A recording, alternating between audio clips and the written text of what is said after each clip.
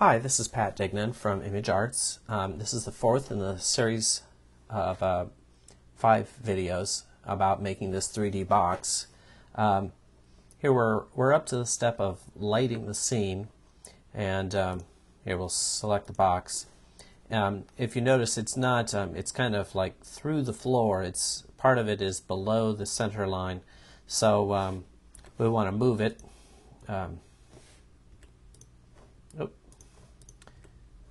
move it till it to set it on the ground. And so the, the easiest way to do that is to go from a front view and just pull it down till it's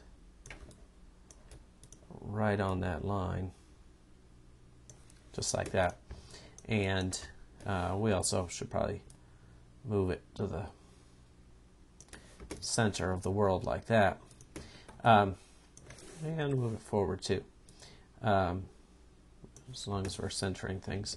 Um, now we'll need to um, draw a, uh, a backdrop, basically, or a tabletop to put this on. I've set up a layer here to put that on.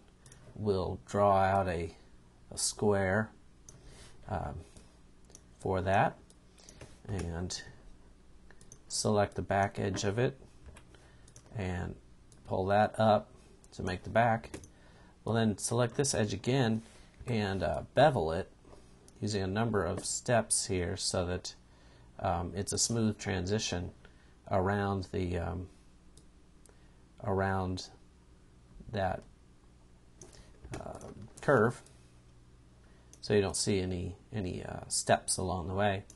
Um, so we have a backdrop there and we want to uh, assign it a, a color uh, we, well, in this case, we want it to be white, um, but we'll just call it uh, backdrop. Leave the color to white.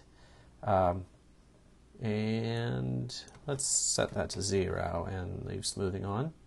So it doesn't appear to change much in the view here, but um, when we render it would make a, a little difference in like how the light would catch it. Uh, now we need to create lights, and for that we I've uh, created a layer here and we'll also draw a square kind of facing the other way here.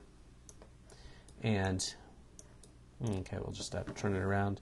Um, we'll aim it at the uh, at the box as if um, as if it was a a real light, like uh, the face of a soft box, um, being put on the um, on the uh, on the box here.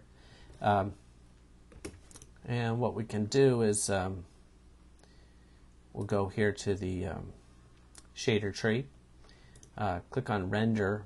We want to turn off some things here. We want to turn off uh, the environment lighting and then go to um, here where we need to assign a surface to this. We'll call this light 1 and we can make the color or make diffuse zero so it and um, we'll go here down here to luminous intensity and we'll say 5 that that makes it basically put out light. Um, it turns it from being just a regular polygon into into a light. Um, and we've got this little preview pane that's the camera is far away from the scene right now, and you can see that there's this light being cast onto this little box right here, which is our which our box.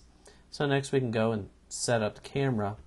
We'll pull it in, uh, kind of get a an angle on it here. Let's set the uh, let's go to camera here and set the perspective to something a little wider, maybe a 35 millimeter lens and pull in even tighter. Kind of do one of these things a little bit um, on the box. Maybe not quite so severe as that. That's pretty strong. Uh, but you can see what's what's starting to happen here. It is as if we have a, uh, a soft box off to the left side of the of our box of air that's uh, that's lighting the scene. We're getting a little bit of a highlight here off the off the um, corner of the um, corner of the box, um, uh, I'll uh, be adding more lights to this and refining the camera angle and, and that kind of thing um, in the next video. And, uh, and we'll, uh, we'll render out two different versions of this um, box here um, to show how, it's, uh, how we can change the, the appearance of, of something like this very quickly. Um, that's about it. Thank you.